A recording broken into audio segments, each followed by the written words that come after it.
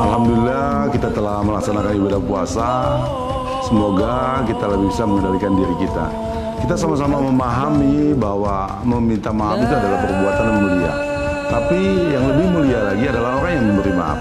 Kami Muhammad Padilari beserta keluarga Bupati Batahari mengucapkan selamat Hari Raya Idul Fitri 1443 Hijriah. Mohon maaf lahir dan batin. Wassalamualaikum warahmatullahi wabarakatuh. Bismillahirrahmanirrahim. Allahu Akbar. Allahu Akbar. Allahu Akbar.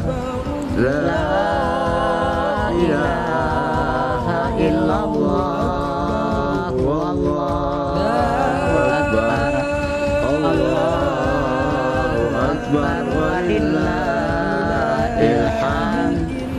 Saya Bahtiar, Wakil Bupati Batanghari atas nama pemerintah Kabupaten Batanghari dan keluarga mengucapkan selamat Hari Raya Idul Fitri 1443 Hijriah. Minal aidin wal faizin. Mohon maaf lahir dan batin.